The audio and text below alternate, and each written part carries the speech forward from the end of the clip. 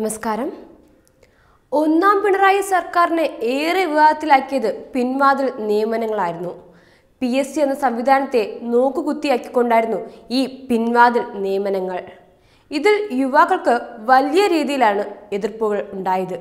എന്നിട്ടും ഇഷ്ടക്കാരെ നിയമിക്കാനുള്ള ഈ തീരുമാനത്തിൽ നിന്നും സർക്കാർ ഒട്ടും തന്നെ പിന്നോട്ട് പോയില്ലായിരുന്നു. കഴിഞ്ഞ സർക്കാരിന്റെ കാലത്തിലെ പിൻവാതിൽ നിയമനങ്ങളുടെ മറ്റൊരു വിവരം കൂടി ഇപ്പോൾ പുറത്തു വന്നിരിക്കുകയാണ്. പി എസ് സി വഴി സർക്കാർ ജോലിക്കായി ഉദ്യോഗാർത്ഥികൾ സെക്രട്ടേറിയറ്റിന് മുന്നിൽ സമരം നടത്തവേ. പിണറായി സർക്കാരിന്റെ കാലത്തു കരാർ ദിവസക്കൂലി നിയമനം എന്ന പേരിൽ മത്സ്യഫെഡിൽ പിൻവാതിൽ നിയമനം നേടിയത് മുന്നൂറ്റി അൻപതോളം പേരാണെന്ന് ഞെട്ടിക്കുന്ന വാർത്തയാണ് പുറത്തു വന്നിരിക്കുന്നത്.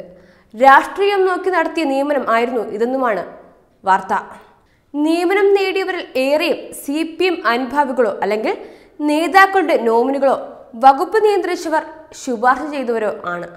പ്രമുഖ നേതാക്കളുടെ ബന്ധുക്കളെ വരെ നിയമിച്ചതായതാണ് പുറത്തുവരുന്ന വിവരം.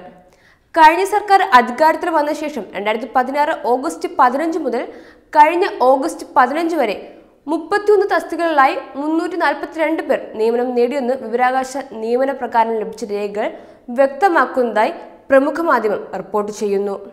അതേസമയം അറുപത്തിരണ്ടായിരത്തിലേറെ രൂപ പ്രതിമാസ ശമ്പളമുള്ള ഡെവലപ്മെന്റ് ഓഫീസർ മുതൽ അറുന്നൂറ്റി അറുപത് രൂപ ദിവസക്കൂലിയുള്ള ഫിഷ് കട്ടർ തസ്തികയിലേക്ക് വരെ നിയമനം നടന്നുവെന്നാണ് report. Administrator project officer junior assistant management trainee accountant officer electrical supervisor electrical inspector store keeper store assistant community motivator operator overseer salesman salesman assistant അന്തിപ്പച്ചു ജീവനക്കാർ local admin call centre executive D T P operator driver security sweeper തുടങ്ങിയ തസ്തികകളിലേക്കാണ് കരാർ അടിസ്ഥാനത്തിലും ദിവസവേതന അടിസ്ഥാനത്തിലും നിയമനങ്ങൾ നടന്നത്. ഏറ്റവും കൂടുതൽ നിയമനം നടത്തിയത് തിരുവനന്തപുരത്തെ ഒരു ഫാക്ടറിയിലേക്കാണ്. ഇവിടെ വിവിധ തസ്തികകളിൽ ദിവസക്കൂലിക്കാരായി മാത്രം നാൽപ്പത്തിയേഴ് പേരെ നിയമിച്ചു. കൊല്ലം ജില്ലാ ഓഫീസ് കൊല്ലം ശക്തികുളങ്ങരയിലെ കോമൺ പ്രീ പ്രോസസ്സിംഗ് സെന്റർ തിരുവനന്തപുരത്തെ ഫ്രഷ് മീൻ സെന്റർ എന്നിവിടങ്ങളിലേക്ക് മുപ്പത്തിരണ്ട് പേരെ വീതവും നിയമിച്ചു.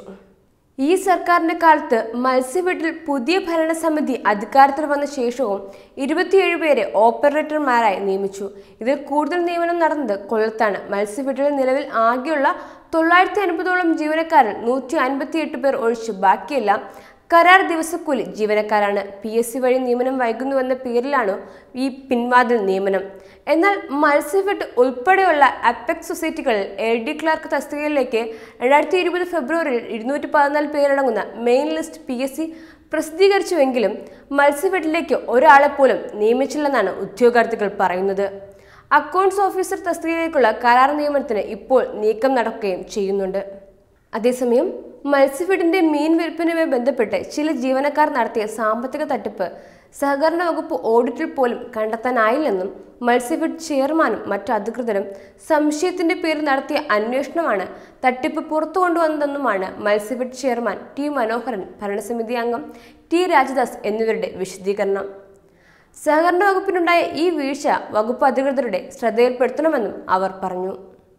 Web desk Tatwamayi news.